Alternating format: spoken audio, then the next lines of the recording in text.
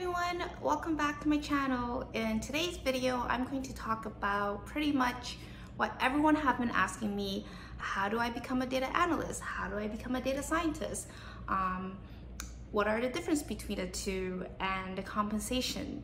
So today's video, I'll be addressing all of that. I'll go over the differences between a data analyst, data engineer, data scientist, and an ML engineer as well, which is also part of the data field. So a little bit of a background about myself. I have recently switched into data analyst field after working as an engineer for about seven years and I absolutely love it. It was the best decision ever. I'm getting paid twice as much as I did when I was working as an engineer and I rather prefer dealing with data and doing mental work instead of doing hands-on work. I graduated with a chemical and bioengineering degree, just a bachelor from McMaster University, and I worked in manufacturing engineer, and then I worked as a product engineer before landing a job as a data analyst. A lot of the stuff that I'll be talking about today is from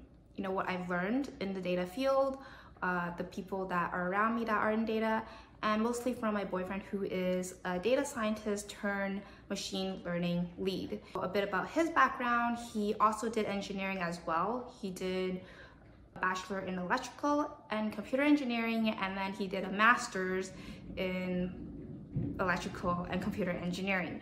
And then after he graduated, he just went into the scientist and recently he landed a new job as a machine learning lead.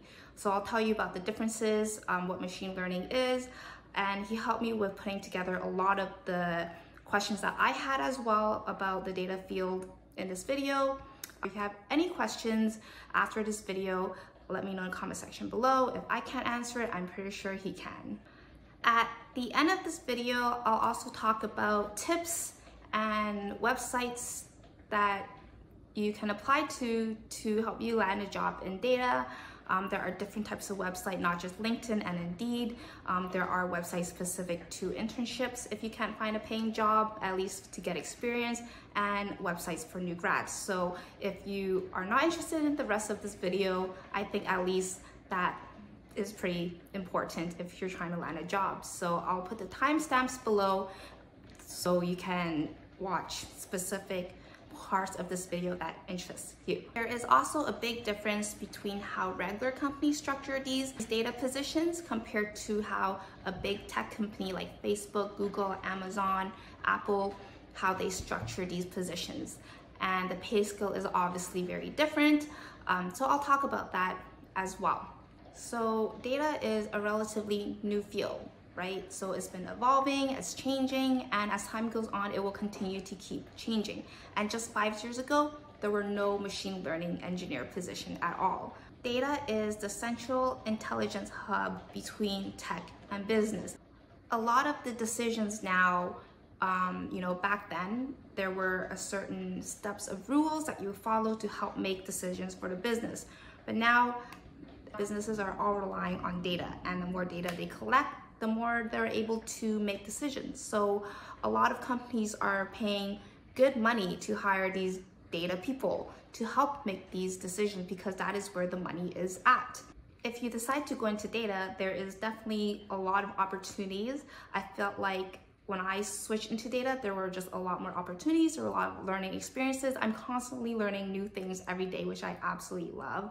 Um, and there's new softwares and languages that I'm learning and I just feel like I'm actually learning something that is a really that is a really desired skill set that not a lot of people have with this new skill set that I obtained, I feel like I have so many more options if I want to switch companies, if I want to do something else, um, than I did when I was working as an engineer. I also want to note that um, all of these four different positions, you need at least an undergrad to get in. It's really hard to get in if you don't have formal education. It would be easier if you have a STEM degree, so something in math, engineering, science to get in. Uh, business, I, I think like for some, maybe like data analyst or data engineer, you can have a business degree, but even then I think that it is actually quite hard um, without a STEM degree. Most employers do prefer people with a STEM degree. The reason being is because math and engineering and statistics is a lot different than math in business. So when you're doing data, most of the math is more similar to the engineering math than business math because business people view math in a really different way than engineers view math.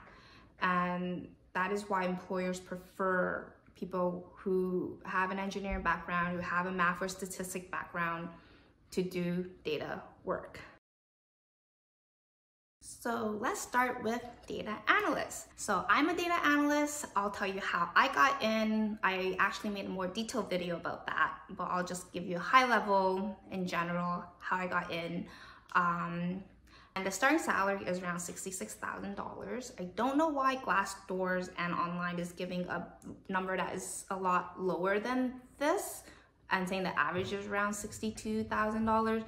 Everyone I know that is in data, even as a data analyst, is making a lot more than that um, as a starting position because I am an entry level and I started and I'm making six figures. Um, the average is around $82,000 um, in Canada. So I do understand smaller companies uh, that are not tech will pay a lot less. And um, in tech companies, well, I'll talk about that later because they structure things a little bit differently. But I think Glassdoor and what you're finding online might be a little bit misleading because uh, data analyst actually does make a lot more than what you see online.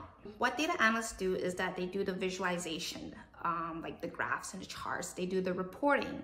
Um, they try to solve business questions, present it in a story, most of the time in a dashboard form. Have good communication because you need to able to tell the story using these data as well. In data, you really just need to know SQL and some sort of visualization tool, whether that be Tableau or Power BI. You can also use Excel, but with the amount of data now, like people use Tableau or Power BI. Data analyst is the lower compensation of the other data positions um, because you don't really need to know a lot of coding. Uh, sometimes it's good that a data analyst knows Python, but not necessarily have to. You can get in without knowing Python at all. When I was doing my interviews for data analyst position, um, you need to know basic statistics. You need to have an undergrad, preferably in STEM, like I mentioned. The skills I recommend you learn is SQL. There's a lot of practice questions online. WC3 School is one of them that I use when I was trying to get into this field where I just practice SQL queries. Um, it doesn't really get too complicated. It's SQL, it's not Python. The most complicated thing you'll probably encounter is join. The more complex questions will come to you with more practice. I also suggest learning Tableau or Power BI. Uh, I use Power BI. There is a free version of Power BI you can download from their website and you can just watch tutorials online, which is what I did. To use Power BI, DAX expressions is very helpful. It helps you manipulate the data easily and it's very just a very useful expression to use. I also learned that by watching YouTube videos and I also practiced DAX expression. So you can find that in the OWL site, I believe it was, um, where I just went through all of the DAX questions. And after I completed that, um, I think I know DAX quite well. In my current job, I use a software called KNIME to clean data. And in KNIME, I use basic SQL queries. Sometimes I use Python to clean the code that is really messy, but I don't use it all too often. And for reporting and dashboards, I use Power BI and Excel. Uh, lately, I've been using mostly Power BI because it's just more powerful. It can handle a lot more data so that is the one I prefer to use. And I also use DAX expression, as I mentioned, in Power BI. So the second position is a data engineer. Data engineer, they're starting is around $80,000. The average is around $90,000. So they're just about like 10% higher than a data analyst. Um, but data engineer is actually probably one of the easiest to get into because you don't really need to know statistics or math. You just need to learn how to code. So anyone can. The work in data engineer though is probably the most uninteresting and it is not sexy at all. You're literally just trying to take data and get it from A to B. So it's just a lot of cleaning the data to make it more useful. So to be a data engineer, you really just need to know SQL. You don't necessarily need to know Python. It is probably preferred that you know Python, but I've seen data engineers just using SQL and not knowing how to use Python. Interesting about data engineering is that I've seen people with life science degrees becoming a data engineer, um, people with art degree becoming an engineer or business um, degree people becoming a data engineer. I don't necessarily believe that you need to have a STEM degree to be a data engineer because you need to know how to code. That's pretty much it. People who are in this field that are data engineer, correct me if I'm wrong. Essentially what data engineers do is that they work on ETL pipeline. So they are moving data from one place to another and applying some transformation to it. Since my company is kind of small, we don't have a data engineer, so I do work on cleaning the data because I don't have a data engineer to do it for me. You will find that as I talk about these positions, there's a lot of overlap in the skills. So just because you're a data analyst doesn't mean you don't need to necessarily know the skills of a data engineer. And if you're a data engineer, doesn't mean you don't necessarily need to know the skills of a data analyst. And a lot of companies that are small and they can't hire uh, someone to do these specific roles, there will be a lot of overlapping and you will be doing roles as data engineer, a data scientist, or, uh, or a data scientist doing an ML engineer role. So now we get into the more interesting side of data, which is the AI side. And this is where all the big companies are pretty much focused on. It's a field that my boyfriend works in and he talks a lot about this field. So I actually know quite a bit about this field without actually working in this field. The starting salary is around $90,000 a year and the average is around $120,000 a year. Within data science, there are two things, research versus real world application. The more real world application goes into machine learning and the more theoretical goes into the data science. Different companies will structure it differently, which I'll talk about later. Especially FANG companies, they have their own way of doing things and structuring these positions. One way to get into data science is you can get in from working as a data analyst, but you will need to learn um, coding, not just SQL. You need to know Python and need to know machine learning. And these things could be learned on the job as a data analyst. I've been getting a lot of people who reach out to me asking, how do I get into data science from an engineering degree? And the background is a bachelor's in engineering degree trying to get into data science. This is actually very, very difficult to get into. I tried doing that myself as well and it was not successful. I only have a bachelor in engineering and the best I could do was land a data analyst position. The reason being, and I don't think a lot of people know this unless you are in the field of data science, is that data science requires you to have a higher education than just a bachelor. You need to have a master's or a PhD, and a lot of people have PhDs. If you did a master's, is preferably that you did a master's in research. So if you have an engineering degree and you did an MEng, it doesn't really help. But if you have a master's in MASC, which is a research master's, that will help a lot. It will help even more if you are a published researcher when you did your master's. Data analysts only possess half of the skills that these data scientists have. So there's a lot of overlapping and a data scientist can do everything that a data analyst could do. Don't bother going into heavy research data scientist position unless you have a PhD because that is very hard to get into. Machine learning is, is that it is a technique that data scientists use to help them build models. These are models that help them predict things. So predict when a person dies, uh, when a person will default on their credit card, and it uses a lot of AI. So this is where you branch into the artificial intelligence uh, side of things. Um, and big companies like Fang, um, Facebook, they're trying to get you hooked on your uh, phone and your device. So they're trying to figure out how to make you click on it and, and stay on the phone longer. And this is where machine learning and AI comes from. It is incredibly complex. It seems very um, easy on the surface level, but once you actually build this model, it becomes really complex. That is why they require people who have a higher education. People with PhD go into research scientists. And if you have a PhD, you won't be watching this video because you already know what to do. I believe that in the future, bare bone data scientists will be eliminated where you just do data science stuff.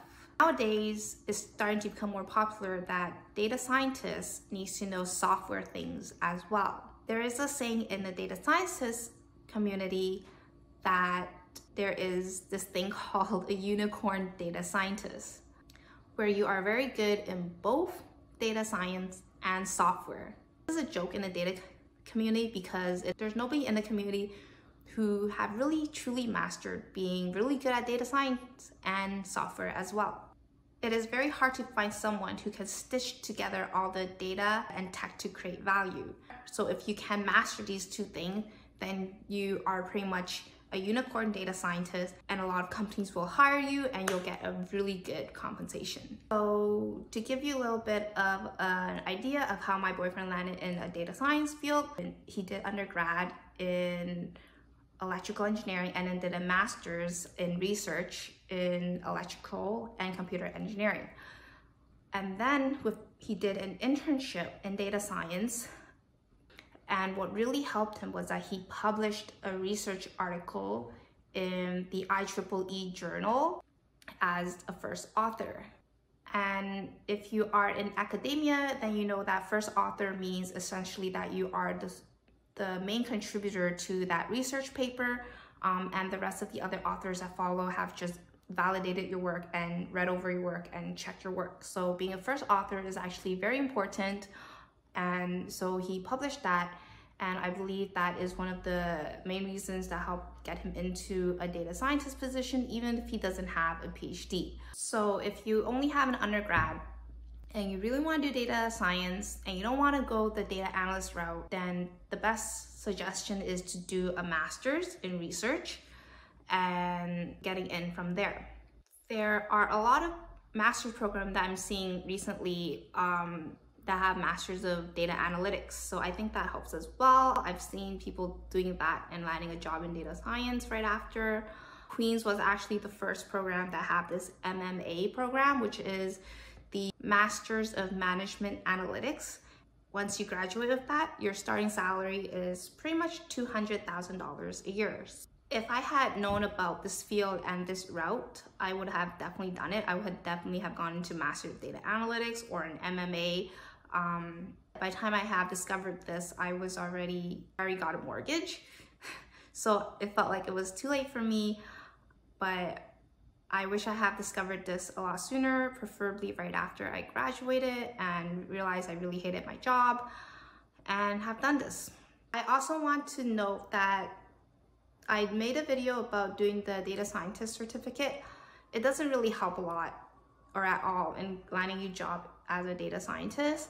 Um, as I mentioned, master's or PhD is a way to go, or if you are a data analyst who know these things, um, probably worked in a few years, gained these skills as a data scientist, but otherwise that data scientist certificate is pretty much useless. All right, so now we go into the machine learning aspect of this video. So machine learning, you are starting off at around $100,000 a year. On average, you're making $150,000 a year. If you're in big tech companies, you're making a lot more than this. As I mentioned before, machine learning is a technique that data scientists use to build models, and they live closer to the business side. Machine learning engineer needs more real work, and this includes the old software education and strong software skills. So what they do is they productionalize the model and everything that happens after productionalization.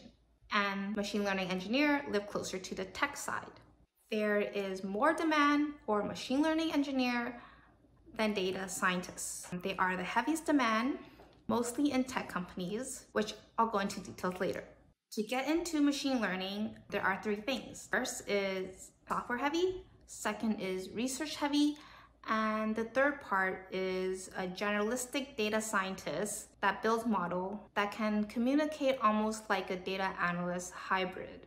The general public recommend machine learning as the way to go because it is the most expensive one and they compensate very well. So you need to get really good software skills and the regular data scientist knowledge and skills. So if you're a data scientist, you just need to learn software skills to get into this field. So now I will talk about regular companies and big tech companies and the differences. In regular companies, um, you have the data analyst, the data engineer. The data analyst, they does all the analysis. They know about machine learning, but they don't necessarily need to do it like me. They do the statistical analysis, the SQL, and data scientists, which they do all the machine learning models, but they also do analysis as well. But generally, data scientists are more machine learning focused in regular companies. And in regular companies, machine learning engineers are usually done by data scientists. There are not a lot of machine learning engineer positions in non-tech companies. So now about the big tech companies, they don't have data analysts. The data scientists are pretty much doing the data analyst work. What they do is they do the visualization, the queries, pretty much normally what data analysts do. They have research scientists that are research focused on the latest machine learning algorithm. Then you have the machine learning engineer slash applied data scientist. What they do is that they build the models and see it from end to end. So they see it from the start to production. And this role is very similar to a data scientist in non-tech companies but they require more skills. All right, so I think I kind of covered um, everything you kind of need to know about the different positions in data. If you have any questions, let me know and I'll try to get back to you. I'm gonna go over the tips and things that will help you when you're job searching. Um, I just wanna say that at the end of the day, it is what you're interested in and what you're good at. I also want to note that I didn't put any ceiling for how much or what is a maximum on these positions because there really is no maximum. I know people who entered into tech companies, they start around $200,000 and that's entry level. Um, and I know several people who are making $500,000 and one person who's making a million dollars a year as a data engineer. It's hard for me to really say what is the maximum for tech um, I don't think there's really any ceiling for these, but I just need to let you know that you won't be making this kind of money in a regular company. Something that I wish I had known earlier when I was looking for jobs is that where you apply actually helps with your chances of getting in. So it costs employers money to post the job positions on the website and LinkedIn actually charges the most but also in LinkedIn, you are getting a lot of people who have a lot more experiences. So if you're applying to jobs on LinkedIn, the competition is more fierce. Um, so it may not necessarily be the best place if you are just a beginner or a new grad looking for a job. If you are looking for beginner entry level, then you should look at um, AngelList, Indeed, and Monster. Indeed of the three is probably have the most competition. For paid internship sites, um, you can search on careeredge.ca. For startups, you should try searching for jobs at angel.o slash location slash Toronto. For new grads, um, I would try talenteggs.ca. So that's pretty much it for the end of my video. I really hope that you learned something um, and it is satisfy your curiosity about the data field, how to get in, what you need to do, um, and hope it helps you decide how to enter into this field if you are trying to get in. And if you haven't already, if you can subscribe to my channel, it will definitely help me with making more videos. If you have any questions um, or ideas on what we can make a video on, let me know and I will work on that as well. So um, thanks for watching and I'll see you guys next time. Bye.